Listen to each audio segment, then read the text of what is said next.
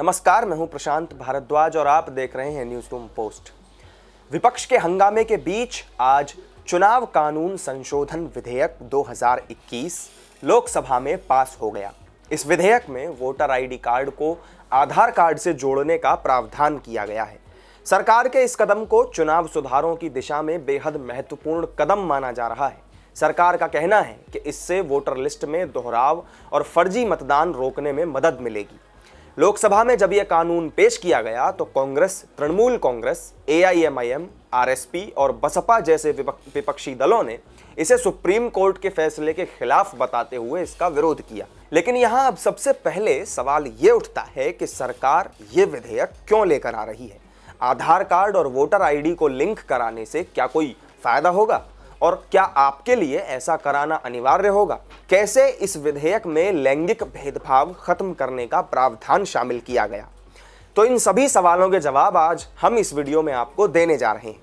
इस विधेयक में आपके वोटर आईडी कार्ड को आधार से जोड़ने का प्रावधान किया गया है, ताकि मतदाता सूची, यानी कि वोटर लिस्ट में एक ही नाम के दोहराव से बचा जा सके और फर्जी नामों को उसमें शामिल होने से रोका जा सके।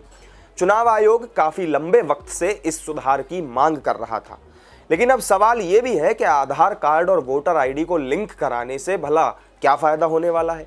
तो चुनाव आयोग के मुताबिक आधार से वोटर कार्ड लिंक हो जाने के बाद वोटिंग में फर्जीवाड़ा रुक सकता है। इसके अलावा इलेक्ट्रॉनिक वोटिंग की दिशा में भी ये एक अहम कदम होगा।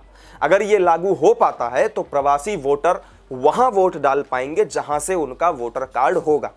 सरकार ने विधेयक के ड्राफ्ट में इसे ऐच्छिक, यानी कि वॉलंटरी कहा है। यानी अगर आप अपने वोटर कार्ड को आधार से जोड़ना चाहते हैं तो ऐसा कर सकते हैं। लेकिन अगर नहीं चाहते हैं तो ये कोई ज़रूरी नहीं है, इसलिए इसे अनिवार्य नहीं रखा गया। प्रस्तावित विधेयक की खास बात यह भी है कि इसमें सशस्त्र बलों और केंद्रीय सशस्त्र पुलिस बल के कर्मियों के लिए निर्वाचन नियमों को लैंगिक आधार पर एक समान बनाने का प्रस्ताव भी शामिल है।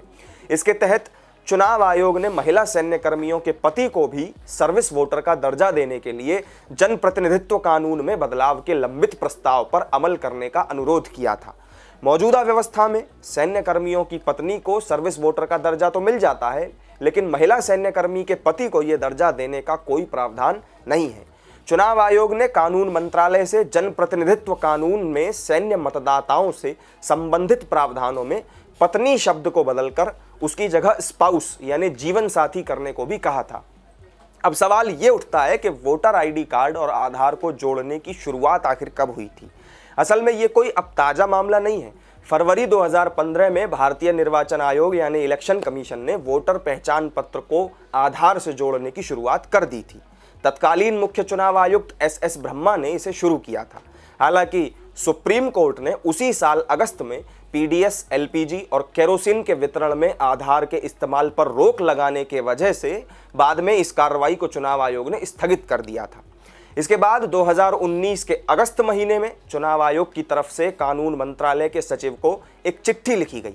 इस चिट्ठी में जनप्रतिनिधित्व कानून 1950 और आधार अधिनियम में संशोधन के लिए प्रस्ताव लाने की बात लिखी गई थी। आयोग का ये तर्क था कि इससे वोटर लिस्ट में गड़बड़ियों से बचा जा सकता है। आयोग ने पत्र में यह भी लिखा था कि आधार को जोड़ने से वोटर कार्ड के फर्जी वाले से बचा जा सकता है और फर्जी वोटरों की समस्या से भी निजात मिल सकती है। तो उम्मीद है आपको इस नए विधेयक से जुड़े सभी सवालों के जवाब मिल गए होंगे। हमारी इस वीडियो में फ़िलहाल इतना ही। फिर मिलेंगे एक नई वीडियो में नई जानकारी के साथ। तब तक आप जुड़े रहिए हमारे साथ और देखते रहिए न्यूज़ रूम पोस्ट नमस्कार।